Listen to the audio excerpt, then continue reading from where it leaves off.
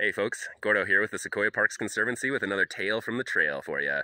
I'm here in the giant forest of Sequoia National Park along a stretch of the Moro Rock Trail this evening, enjoying the early stages of what promises to be another beautiful sunset here in the park. The sunset happens every single day, of course, and here in this here in Sequoia National Park there are lots of different places to enjoy it from. If you find yourself in the giant forest area around sunset, I would recommend making your way to anywhere that has rock in the name. Moro Rock, Beetle Rock, Sunset Rock are all fantastic places to catch the sunsets, or anywhere in the giant forest where the late afternoon light will paint the red bark of the sequoias an even deeper rosy color can also be a really lovely way to enjoy the sunset. If you would like a guided experience during the sunset, the Sequoia Parks Conservancy offers guided tours during the sunset hours here in the park.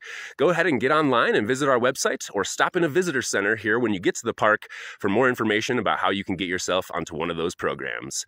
I hope to share the sunset with you soon.